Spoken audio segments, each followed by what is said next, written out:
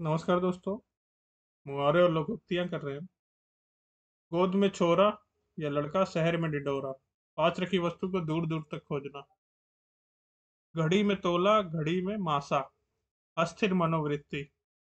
घर का वेदी लंका ढाए, आपसी फूट का बुरा परिणाम होना। घर की मुर्गी दाल बराबर अपनी वस्तु की कद्र ना करना। घर खीर तो बाहर खीर, अपने पास कुछ होने पर ही बाहर भी सम्मान मिलता है। घर में नहीं दाने, बुढ़िया चली भुनाने। झूठा दिखावा करना। घोड़ा घास से यारी करे तो खाए क्या? मजदूरी लेने में संकोच कैसा? घर का जोगी जोगना, आन गाँव का सिद्ध। बाहरी व्यक्ति को अधिक सम्मान देना। धन्यवाद।